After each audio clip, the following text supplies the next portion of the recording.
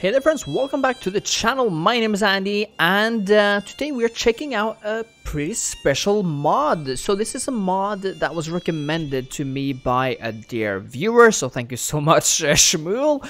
Um, so this mod is UI related and it basically changes the whole game from this, as you can see, the new kind of CK3 UI to to this. and as you can see, um, it basically looks like Crusader Kings 2 UI. Um, and that's pretty cool. Um, we have the character uh, portrait up uh, top left here. Clicking that brings down this menu. Every, everything is uh, is uh, simple and kind of in your face. Here we have the relationships. Uh, no characters there. The court, vassals. It's pretty it's pretty straight uh. Here we have the diplomatic relationships and you, can, and you can always click to expand that. Same with the claims and the uh, titles. Um, here we have the traits of course.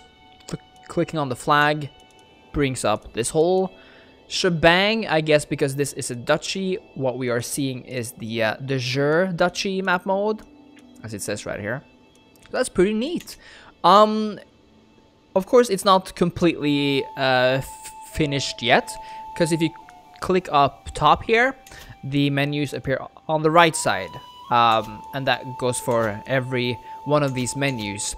But there is something nice about that though, like kind of not having to click a place where it almost overshadows the menu, but of course this is um, this is a, a taste thing. I don't think I will be using uh, this mod before it is uh, finished and it is in the plans for the mod to make everything appear on the left.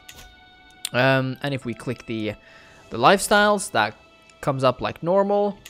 Uh, but it's all sort of from the top uh, left here.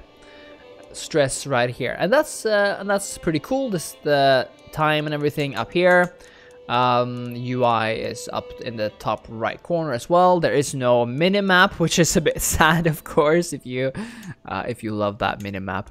Uh, but yeah, that was a, a, quick uh, preview of the um, CK2 UI uh, mod. You can find it on Steam. Uh, and it is of course in uh, development right now so check that out or come back to it later one quick thing is that you also see that the map has uh, changed a bit, so you actually see the individual counties on the uh, political map. And you know what? There's something that I like about it, um, especially on the uh, on this level right here, uh, because then everything is kind of thin and uh, black, like these lines.